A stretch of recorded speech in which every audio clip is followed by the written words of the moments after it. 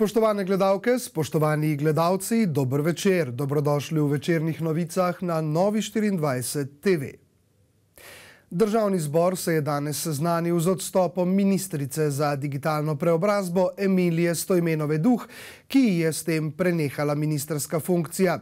V naslednjih desetih dneh mora premijer Robert Golob predlagati novega ministerskega kandidata ali sporočiti, kdo bo začasno prevzel vodenje ministerstva. Dotlej pa bo tekoče posle opravljala Stojmenova Duh.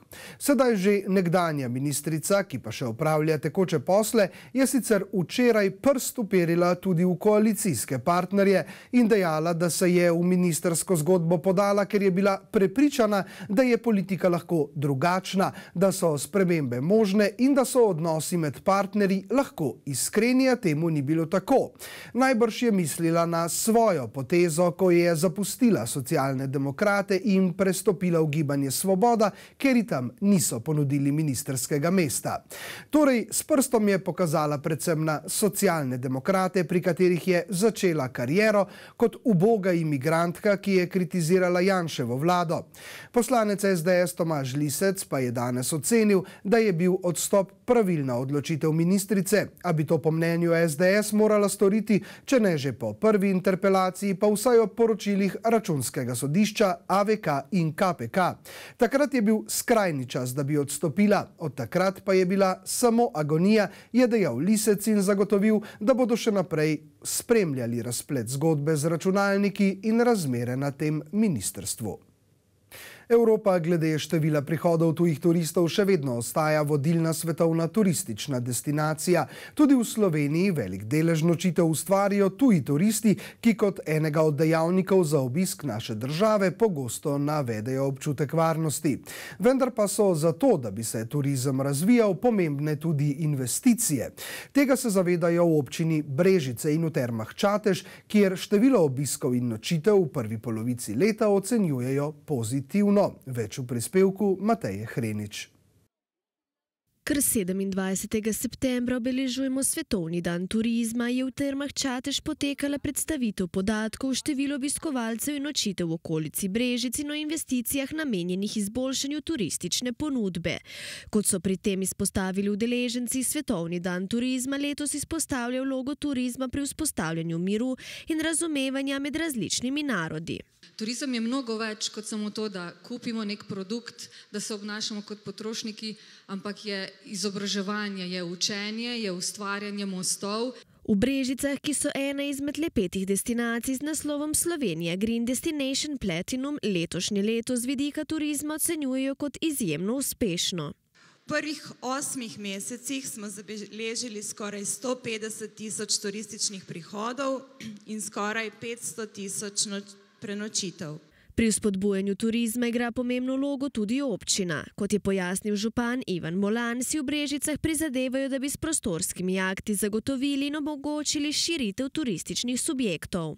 Prav tako eh, delamo kar precej na tem, da bi se eh, širili tudi različni ostali turistični eh, subjekti po podeželju.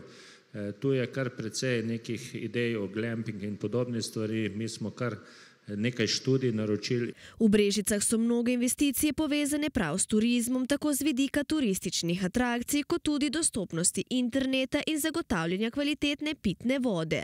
Poleg tega so se intenzivno lotili še obnove objektov, ki imajo posebno vrednost. Ena od pomembnih stvari je, da nam je uspelo obnoviti ta mogočni vodovodni stolp, ki je, ima tudi svojo vsebino, povezavo z Posavskim muzejem.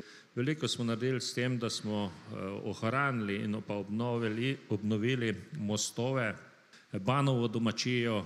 Z razvojem turizma in številom obiskovalcev so medtem zadovoljni tudi v termah Čatež. V letu 2024 so v sklopu Združenja slovenskih naravnih zdravilišč ustvarili slabih 23 odstotkov vseh prenočišč, povečala pa se je tudi prodaja kar za dnevne obiske.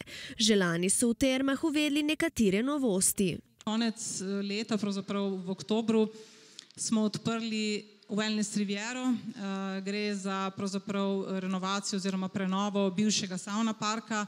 Poleg tega smo izgradili večnamensko pot dejansko okoli Terem Čatež za sprehode, za nordijske hoje. Prenovili smo kongresne dvorane. Tudi prvo polletje leta 2024 ocenjujejo kot uspešno, saj so ustvarili 13 odstotkov več prihodkov kot v enakem obdobju lani. Prav tako je glede nočitev zelo dober rast, rast tako slovenskih gostov, nekoliko več kot lani. Pozitivni so vsi indeksi, tako kopalcev kot prodanih stopnic na zimski in poletni termalni rivieri. Tudi v letošnjem letu so se lotili novih investicij. Kot eno največjih so navedli prenovo wellness centra v hotelu Terme, izpostavili pa so še ponovno oživitev restavracij v okolici gradu Mokrice. Štiristo štiriinštirideset, torej to je leto, ko so bile Mokrice prvič omenjene, je tako dejansko ves čas na voljo. Prav tako smo prenovili ponudbo gastronomsko-termalne riviere, smo v prenovi kabane, torej objekta, ki naj bi bil nekako večnamenski in za neka neformalna druženja. Podatki Svetovne turistične organizacije sicer kažejo, da je bilo lani po svetu kar ena cela tri milijarde mednarodnih prihodov turistov, tuji turisti pa so v Sloveniji ustvarili približno dvainsedemdeset odstotkov nočitev. V Ljubljani se bo v naslednjih treh dneh odvijalo največje usposabljanje gasilcev in prvih posredovalcev z področja tehničnega reševanja ob prometnih nesrečah v tem delu Evrope Heavy Rescue Slovenija, na katerem bo sodelovalo več kot šeststo gasilcev in gasilk iz dvanajstih držav. Namen usposabljanja je izmenjevanje primerov dobrih praks in vadenje na različnih postavljenih situacijah, ki gasilce pripravijo na hitro in učinkovito terensko delo. Linda Mosetic. Prometne nesreče kot rezultat bodisi prekomerne hitrosti, slabe vidljivosti ali težave s prevoznim sredstvom večkrat rezultirajo v situacije, kjer je za reševanje človeških življenj nujno potrebna gasilska pomoč. Za boljšo pripravljenost gasilcev bo v naslednjih treh dneh potekalo usposabljanje gasilcev Heavy Rescue Slovenija. Letošnja tematika so tako imenovana tovorna vozila, električna vozila in pa specifične prometne nesreče. Kot vidite za menoj v ozadju, so različni scenariji. Imamo udeležence tako iz Slovenije, poklicne prostovoljne, imamo tako iz Hrvaške, iz Črne gore, imamo celo nekaj iz Avstrije in Nemčije in pa seveda tukaj sodelujejo tudi mednarodni inštruktorji. Pri projektu sodeluje več kot šeststo gasilcev iz dvanajstih držav, namen pa je izmenjevanje znanja in iskanje praks, ki so v kritičnih situacijah najučinkovitejše. Priprava terena je potekala včeraj cel dan, se pravi, da smo vozila, ki so trenutno na poligonu, prepeljali sem. Prepeljali smo tudi nova vozila, kamione, kombije in tako da se in avtobus. Teoretični del usposabljanja temelji predvsem na seznanjanju z električnimi vozili, ki so na cestah vse popularnejša. Za samo vožnjo nevarnosti ni. Problem je, ko pride do neke nesreče, ker teh vozil ne slišimo. Tudi na cesti nimajo nekih zvočnih signalov. Ravno zato je pomembno, da so pešci med hojo pozorni na svojo okolico. Vse več pa je tudi avtobusov in tovornjakov, ki imajo v primerih nesreče svoje specifike. Zato morajo gasilci vedeti same specifike pri prometni nesreči, pri eventualno, če pride do požara, kako odreagirati, kje pristopati, kje pristopati, če so noter potniki, če je noter ostal sam šofer, kako dostopati do samih potnikov. Po mnenju gasilcev je najpogostejši scenarij prometnih nesreč na avtocesti ta, da se avto zabije v tovornjak ali težje vozilo in zaradi velike sile zleze pod leto. The task is to extricate, remove nice, smooth and fast victim to save his life. But dangerous part of this exercise is to keep the heavy load hanging in the air in a proper safe position. Tako reševanje je zlasti zahtevno zaradi ogroženosti gasilcev samih in tako imenovane zlate ure, ki predstavlja odločilen čas za preživetje žrtve. From an accident, then the telephone call, then the trip from the fire station into the accident. Then the extrication and then um, ambulance travel into the hospital. All of these things we should include in one golden hour to uh, let the victim uh, probability to survive. Ravno zaradi tega so vaje, kjer gasilci sodelujo in svoje veščine izurijo na zamišljenih situacijah ključnega pomena. Pomembna pa so tudi finančna sredstva za nabavo opreme, ki je nujno potrebna sploh pri prostovoljnih gasilskih društvih. Preventiva je zelo pomembna uh, vsebina v zavarovalništvu in recimo dogodek, kot je danes, uh, je tudi z našega vidika zelo pomemben, ker v zadju so glavni tukaj gasilci. Zato mi že vrsto let ob koncu leta namenimo kar določen znesek preventivnih sredstev našim prostovoljnim gasilskim društvom širom po Sloveniji. Gasilci pa še dodajo, da je ne glede na težke okoliščine dela najpomembnejše ravno sodelovanje in dobra volja. Nekdani japonski obramni minister Shigeru Ishiba bo postal novi predsednik vlade, potem ko je zmagal na strankarskih volitvah in postal vodja vladajoče stranke. V drugem krogu volitev za položaj predsednika liberalno-demokratske stranke Japonske je 67-letni Ishiba premagal proti kandidatko nacionalistko Sanai Takaichi. Na položaju bo Ishiba nasledil Fumija Kishido, ki je bil premijer od oktobra 2021. V drugem krogu volitev za položaj predsednika japonske liberalno-demokratske stranke je zmagal nekdani obramni minister Shigeru Ishiba. Stranka, ki je na japonskem vladala skoraj celotno povojno obdobje, ima v parlamentu večino, zato je praktično zagotovljeno, da bo njen novi vodja postal naslednji predsednik vlade ter tako nadomestil dosedanjega premijeja Fumija Kishido. 新しい総裁のもと我々は一致結束して Pod vodstvom novega predsednika moramo združiti moči in izpolniti odgovornosti, ki nam jih je zaupalo japonsko ljudstvo. Odločen sem, da bom kot član stranke podprl novega predsednika. 新しい総裁を全力で支える覚悟です。 Kišida je že prejšnji mesec sporočil, da se ne bo potegoval za nov mandat, kar mnogi pripisujejo nezadovoljstvu nad naraščanjem cen in škandalu glede strankarskih dogodkov za zbiranje sredstev, v katerega je bil pleten. Kišida se je odločil odstopiti, da bi si povrnil zaupanje ljudi in bi se lahko stranka LDP ponovno rodila z veliko odločnostjo in ugledom. Na to odločitev se moramo odzvati enotno. それに応えていかなければなりません。 67-letni Ishiba, ki se je v drugem krogu volitev pomeril z nacionalistko Sanai Takaichi, se je za položaj predsednika stranke sicer potegoval že večkrat. Med drugim je kandidiral tudi leta 2012, ko ga je premagal Shinzo Abe. 私どもは3年よ矢にありました。 Nekoč smo za približno tri leta izgubili oblast. Na to sem bil pod predsednikom Shinzo Abem imenovan za generalnega sekretarja LDP.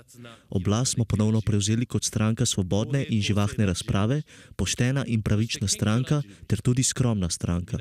Želim si, da bi se stranka znova vrnila v to stanje. もう一度その時に戻りたいと思っております。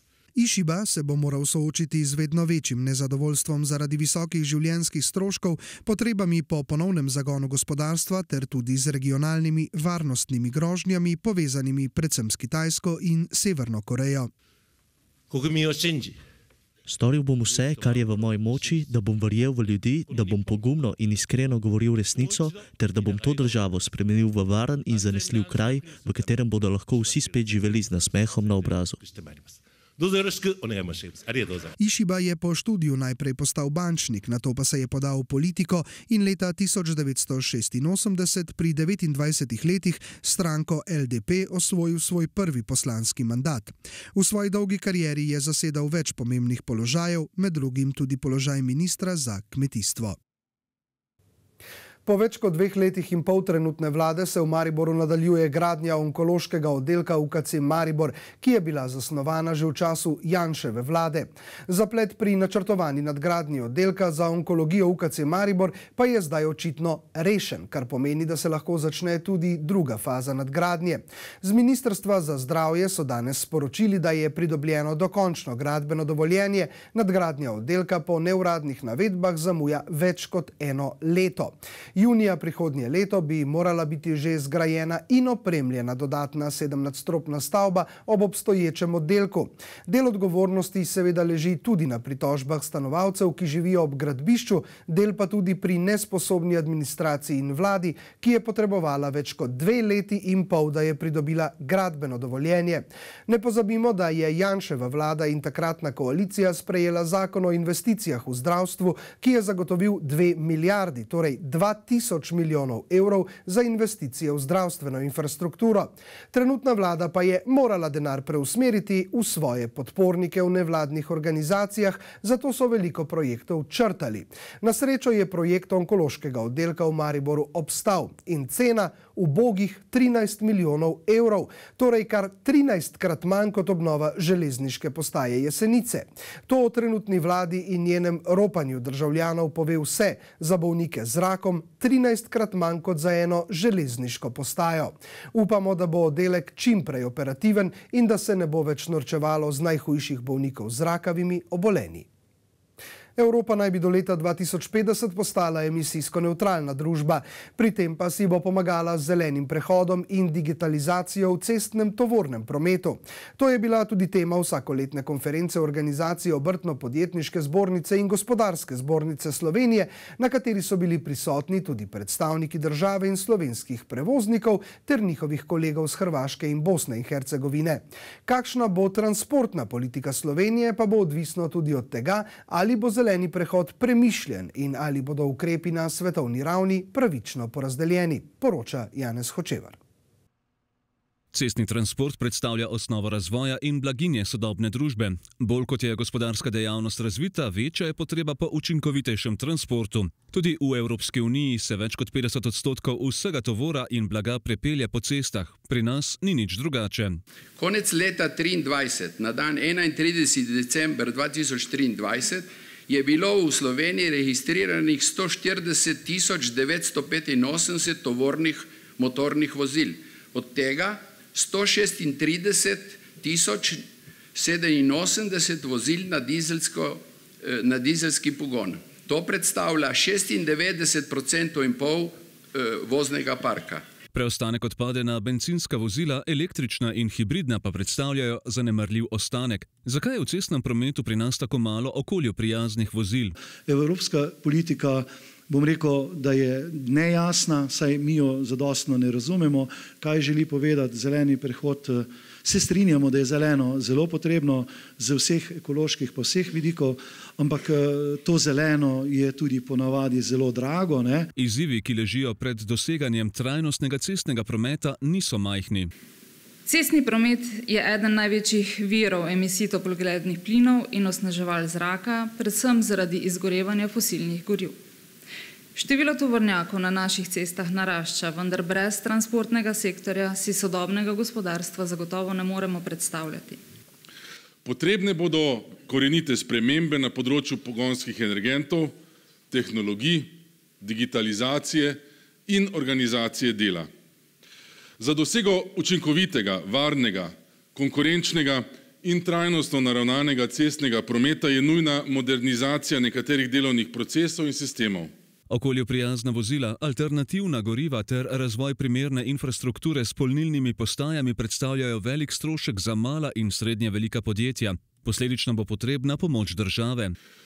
Konkretni korak v tej smeri smo naredili s subvencijami z namen spodbujanja okolju prijaznejšega tovornega prevozništva v cestnem prometu. V okviru katerega vam je bilo iz sklada za podnebne spremembe namenjenih 10 milijonov evrov in sicer za dodelitev finančnih spodbud za nakup in predelavo tovornih vozil in avtobusov ter nadgradnjo tovornih vozil z aerodinamičnimi sredstvi. Izsledki lanske ankete Gospodarske zbornice Slovenije so pokazali, da so slovenska podjetja na zeleni prehod pripravljena, oviro pa poleg pomankanja finančnih sredstev predstavlja še birokratizacija in še. Pri avtoprevoznikih zadnje čase posebej izpostavljamo težavo za kadri, ki jih imajo pravzaprav tako rekoč že posod, pa seveda izobraževanje voznikov, potrebne finančne spodbude za namen digitalizacije, pa neustrezen razvoj intermodalnih logističnih centrov, tukaj gre za problematiko umeščanja v prostor, pa še marsikaj. Izzivov je veliko, a bodo poleg Evropske unije ustrezne korake morali narediti še drugi. Čas pa bo pokazal, ali bo slovenskim avtoprevoznikom do leta 2050 uspelo in bo gospodarstvo ohranilo visoko konkurenčno raven. Ljubljanska mestna svetnica iz vrst stranke Vesna Jasminka Dedič pravi, da bodo imeli župan in Jankovičeva koalicija možnost za popravni izpit. Na seji se bo namreč obravnavalo njeno pobudo, ki jo je formalno podprla tudi široka politična koalicija s Primčevo stranko in Pirati o razpisu lokalnega referenduma v zvezi z Jankovičevim odlokom, znanem kot Lex Magnifico. Odlok je namreč po njihovi oceni škodljiv tako okolju, kot tudi ruši osnovne demokratične in pravne standarde. Na tiskovni konferenci je bil Arjan Sajovic.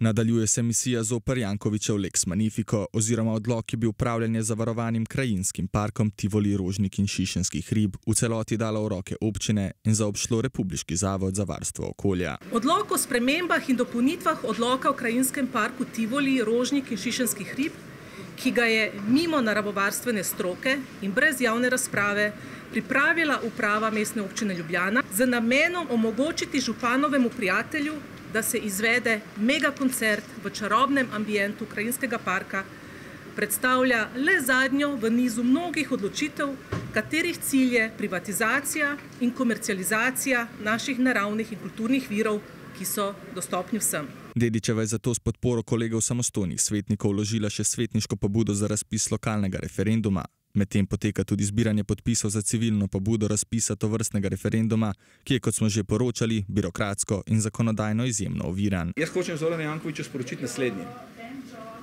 Če misli, da zbiranje podpisov uh, za tale referendum, ki ga je sprožila civilna družba, kaže na to, da bo vsako zbiranje podpisov uh, o njegovih norostih uh, neuspešno, se zelo moti. Podporniki referendumske pobude so mnenja, da se je temu Jankovičevemu samovolnemu ravnanju treba odločno zoprstaviti. Slednji se namreč odraža tudi v primeru dodeljevanja nadzorniških funkcij v podjetjih v občinski lasti, dodeljevanju gradbenih dovoljenj in podobno. To je klientelizem, ki ga ne, ne mislimo več tolerirati. Neke vrste povezave se vedno najde s temi ljudmi.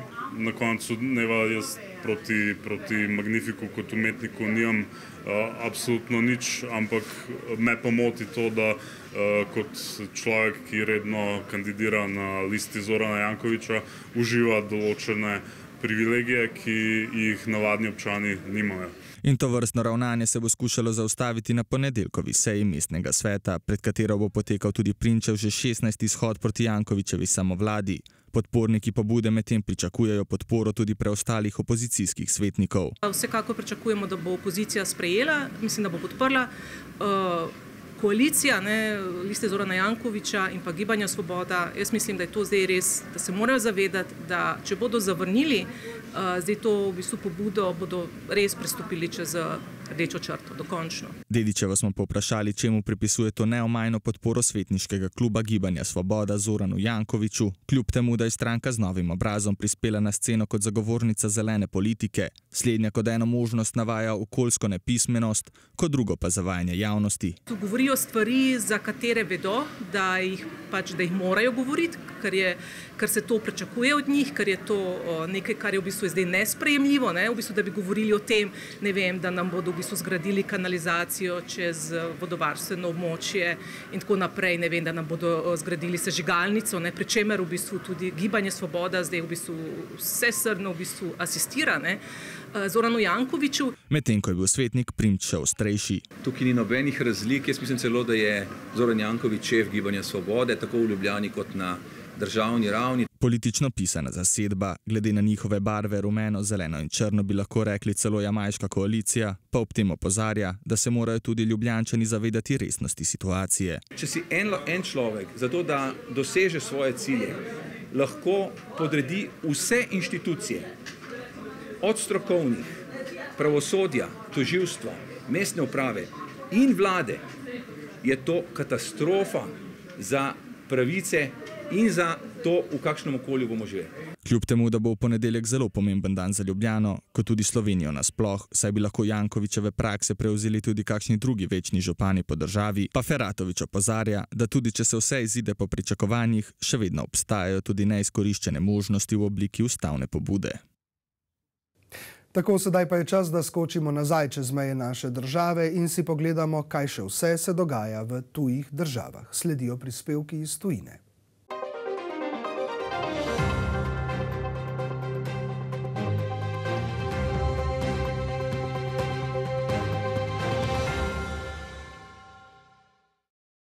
Ob deseti obletnici izginotja 43 mehiških študentov je v Mexico Cityju potekal protest. Svojci pogrešanih in njihovi podporniki so se zbrali pred predsedniško palačo, kamor so poleg protestnih plakatov prinesli tudi več krst. Oblasti so na ta način opozorili na študente iz učiteljišča v mestu Ayocinapa, ki so izginili 26. septembra 2014. Preiskovalci so ocenili, da so študenti najverjetneje s pomočjo skorumpirane policije pristali v rokah narkokartela, a mnoge družine ta scenarij zavračajo. Še vedno imam občutek, kot da je moj sin izginil včeraj. Doma še vedno občutimo to njegovo odsotnost. Kot družina smo zelo žalostni, da ga ni z nami. Zdaj lahko resnično rečemo, da nam vlada sploh ni pomagala.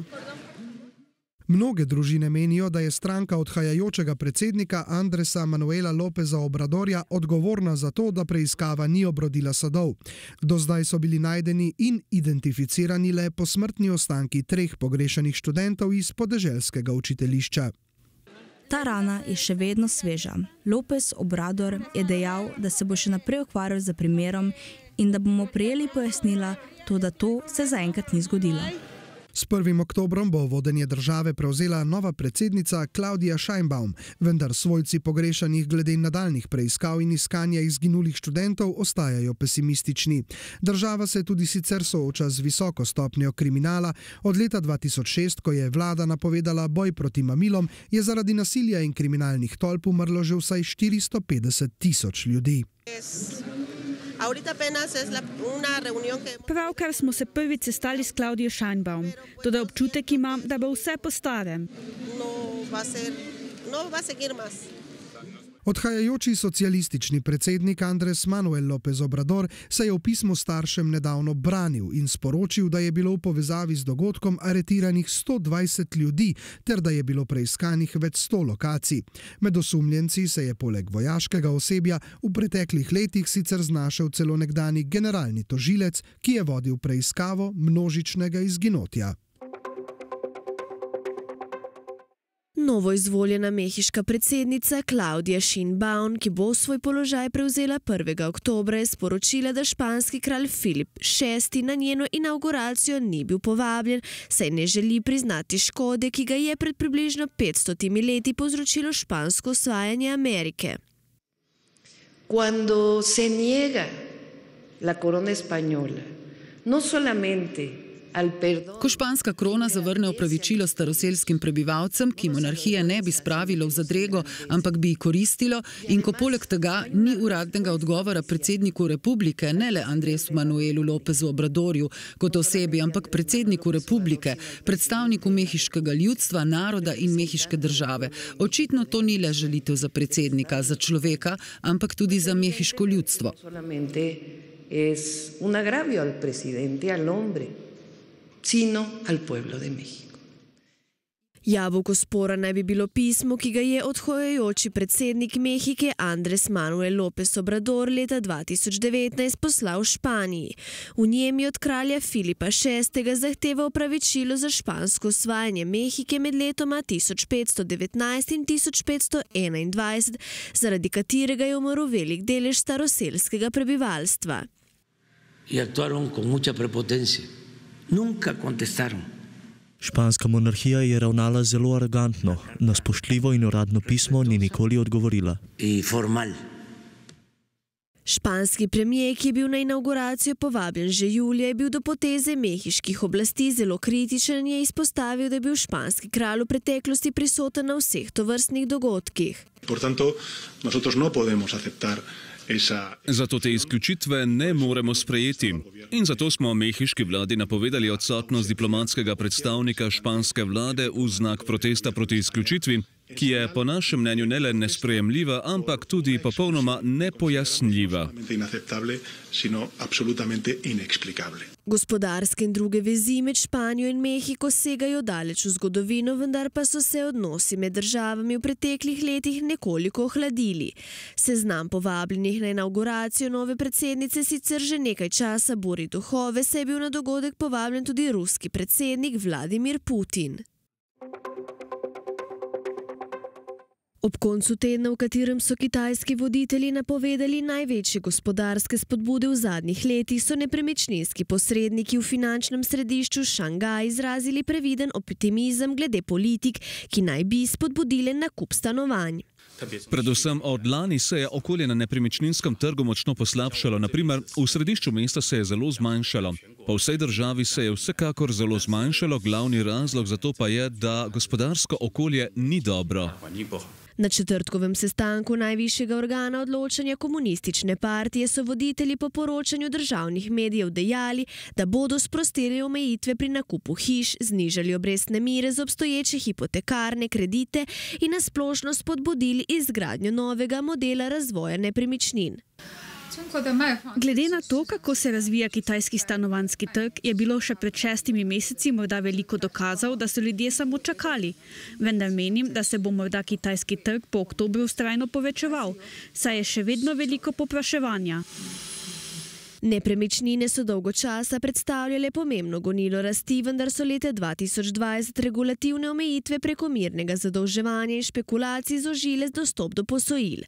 Vse od takrat vodilna podjetja v državi pestijo naraščajoči dolgovi in zastoj pri gradnji, kar spodkopava zaupanje kupcev in krepi že tako šibko potrošnjo. Pravim, da je šla industrija letos precej navzdol. Imamo veliko sredstev, stranke prihajajo, naprimer želijo prodati svojo hišo ali pa želijo dati sredstva. To, da nimamo veliko gostov, ki bi želeli kupiti hišo. Imamo več, naprimer, potrošnikov, ki želijo prodati hišo, vendar manj potrošnikov, ki želijo kupiti hišo. Takšna je letošnja panoga.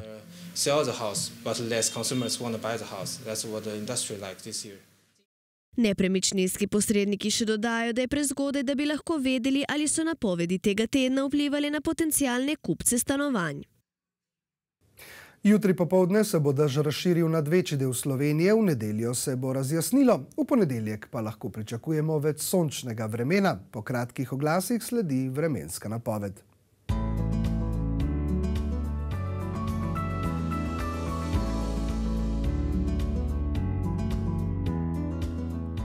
Jutri bo sprva ponekod na zahodu in jugu še nekaj jasnine, čez dan se bo pooblačilo. Sredi dneva se bodo v severni Sloveniji začele pojavljati krajevne padavine, ki se bodo popovdne razširile nad večji del države. Na primorskem bo možna tudi kakšna nevihta. Zapihal bo severovzhodni veter, na primorskem proti večeru zmerna burja. Najviše dnevne temperature bodo ponekod na severu le okoli 10, drugot od 14 do 23 stopinj. Popovdne se bo občutno ohladilo. V nedeljo se bo razjasnilo, po nekaterih kotlinah bo jutro megleno, še bo pihal severovzhodnik na primorskem burja. V ponedeljek bo sončno, svežim in ponekod meglenim jutrom.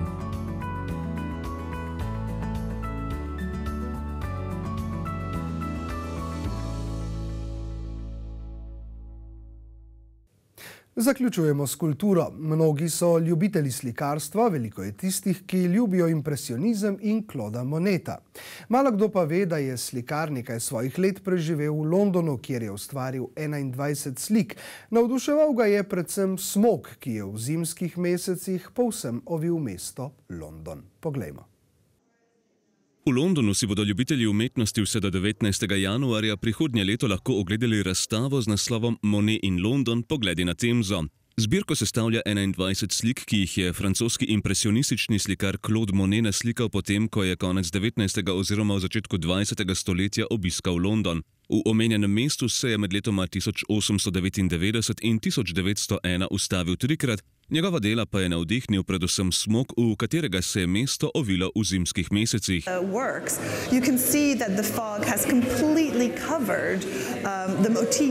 Vidite, da je megla popolnoma prekrila motive, ki jih je slikal mostova Waterloo Bridge in Charing Cross Bridge in poslopje parlamenta.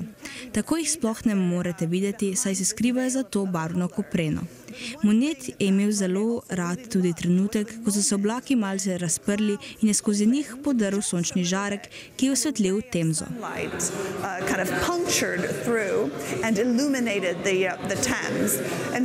London je v času, ko ga je obiskal Monet, veljal za enega najbolj poseljenih mest na svetu, ko nesnaženosti zraka pa so močno botrovali tudi industrijski obrati. Um, Velika razlika je, da v središču mesta ni več tovarn, dima in onesnaženosti. Tudi za obiskovalce leta 1900 je bila gosta megla zelo značilna za London. Bila je ena od stvari, ki so jih vsi komentirali.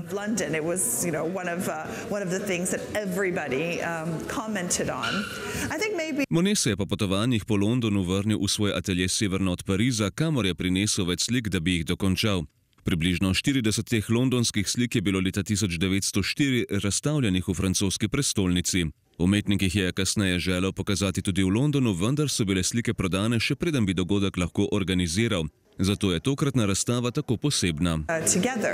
To je prvič, da je razstava ena od monetovih serij narejena s točno tistimi slikami, ki jih je umetnik izbral sam. Zato je bilo treba upraviti veliko raziskav, da bi razumeli, katera dela konkretno so bila na njegovih pariških razstavi.